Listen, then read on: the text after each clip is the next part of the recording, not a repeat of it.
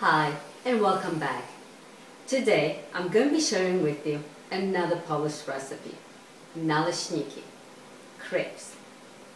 Now crepes are very easy to make and they're very versatile. You could use them for breakfast, part of dinner, the main course, and of course dessert. What's great about naleśniki, you can make them ahead of time. They'll keep in the refrigerator for a couple of days a freezer for several weeks. So now, let's get going and make some naleśniki. The recipe I'm going to share with you will yield about 10 8-inch naleśników. For the ingredients, you will need 1 cup of cake flour. Now you can use an all-purpose flour, but the cake flour will make naleśniki lighter. 3 large eggs, 1 cup of whole milk, 3 quarter cup of water, and spring water is preferred, quarter of a teaspoon of salt, and then some butter for brushing on pan while we make naleśniki. Well, I said making naleśniki is easy. All you need is a blender and the ingredients. Now we're going to add all the ingredients in a blender, turn on the blender, and make sure that all the ingredients are well mixed. Now I'm going to start with adding eggs, milk, water, and then we're going to add the flour and the salt. So you want to start with the liquid ingredients and end with the flour and the salt. We're going to cover, put the lid on, and turn on the blender. Now that we have all the ingredients mixed well, we're going to let the batter rest for about half an hour. And this will make a more tender naleśniki. Now we are ready to cook naleśniki. Here I have a crepe pan, a pan that I have had for many years. As you could tell, it's well seasoned. Now you could use any pan to do crepes as long as the sides of it are on a slight angle. This will make flipping naleśniki a lot easier.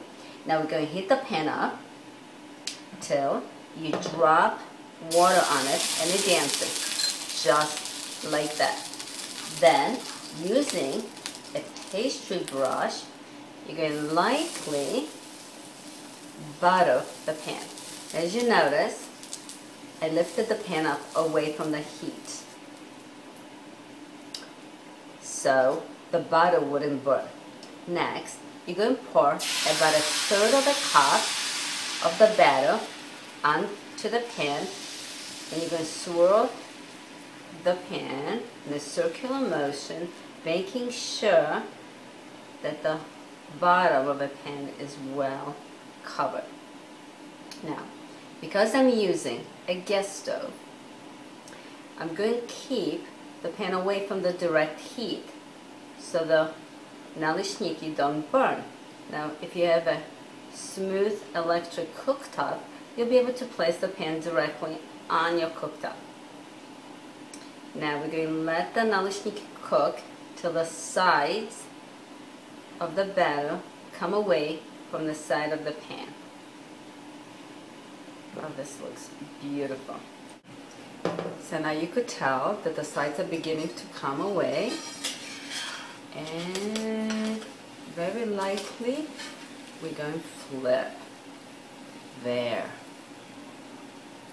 and you're just going to let the crepe cook for a couple seconds and then we can put them on a rack to cool and now for the filling one of the traditional ways to serve naleśnik is to fill them with cheese now, so here I have farmer's cheese. I have placed the farmer's cheese in this bowl. Now this particular serving is seven and a half ounces.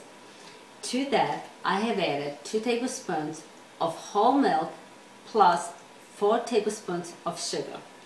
I have blended all the ingredients so it's nice and smooth. I'm going to take some of the cheese filling and spread it on the naleśnik. Just like that. And now we're going to take the naleśnik over to the pan. We're going to heat it up. Once we heat it up, then we're going to top it with the strawberries. So now we are ready to heat up the naleśnik. So here I have my crepe pan. I'm going to lightly butter the pan. Okay. I'm going to place the naleśnik right on top. Now we're going to heat up the naleshnik for just a few seconds. We're going to first fold it in half. Then we're going to fold it one more time. There. And now it's ready to be finished off. So here we have the naleśniki, topped with strawberries and whipped cream. Well, I said making naleśniki is easy. I hope you find this recipe interesting, delicious, and easy to follow. So I hope you'll give it a try. But now, for additional naleśniki fillings, please refer to our other video, more of naleśniki fillings. Thank you for tuning in.